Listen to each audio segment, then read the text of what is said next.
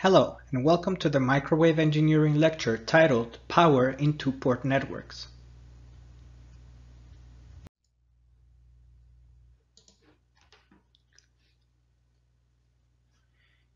Here is a schematic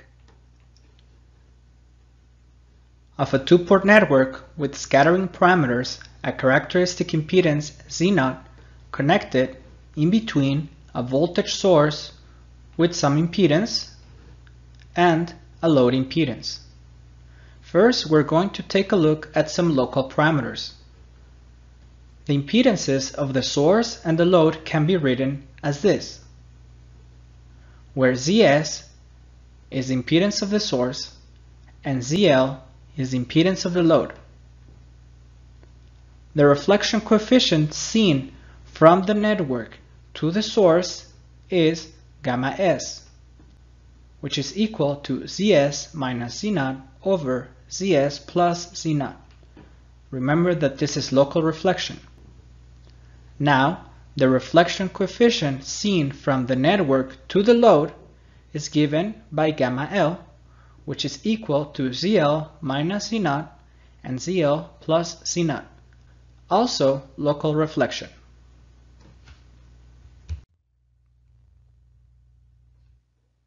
Now we will look at the available power and impedance matching in order to calculate the available power.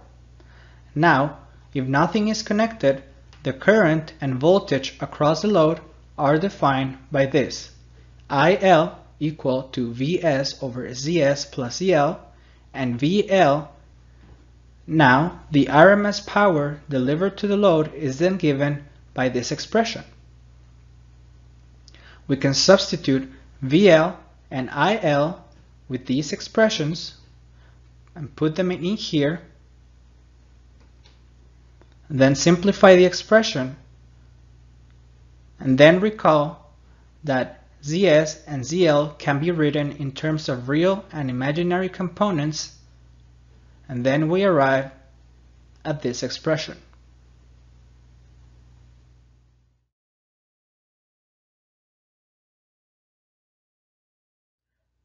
Now, the RMS power PL is maximized when the reactance of the source and the reactance of the load get cancelled.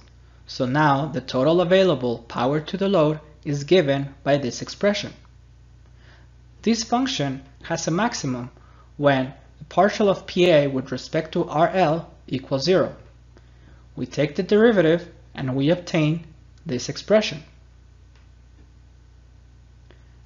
Now, we can solve for RL and we find that RL, the resistance of the load, equals the resistance of the source.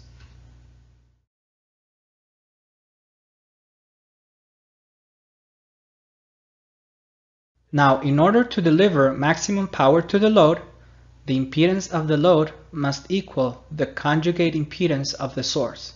This is called conjugate matching. As we stated before, when the resistance of the load equals the resistance of the source, the equation for maximum power reduces to this. PA equals to the magnitude of Vs squared over 8Rs when the impedance of the load equals the conjugate of the impedance of the source. We can now take a look at some global parameters. So now we go back to the original schematic where the two-port network is connected in between the source and the load. Now the input impedance observed by the source into the network slash load is given by this expression in terms of transmission parameters.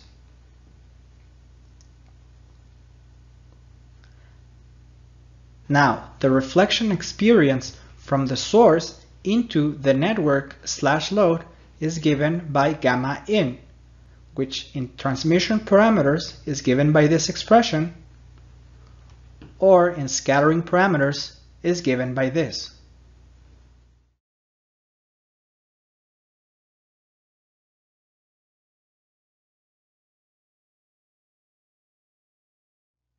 Now, the reflection coefficient from the network slash source to the load is given by gamma out, and it is this expression in terms of gamma s and scattering parameters.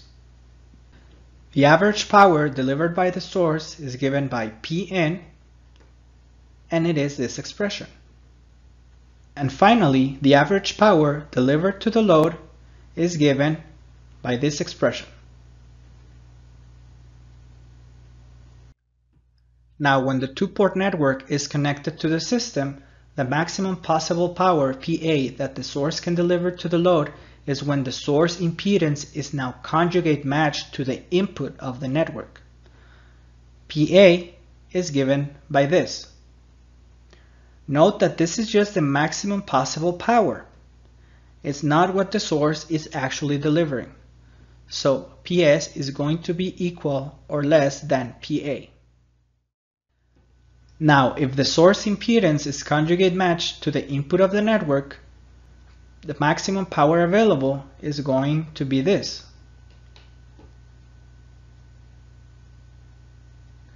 And thus, the maximum power that can be delivered to the load is given by this expression.